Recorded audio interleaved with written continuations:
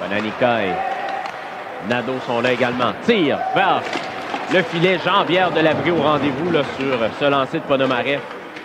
Retour dans l'enclave qui a été balayé. L'attaque qui se poursuit. Bergeron, à oh. Ponomareff. Un lancé. But. Cataract. Quel échange entre les trois joueurs. Ponomareff complète la séquence.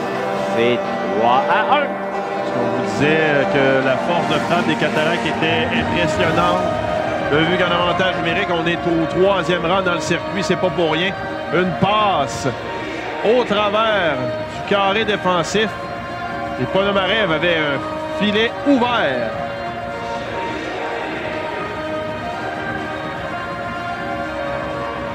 Quelle pièce de jeu, quelle passe.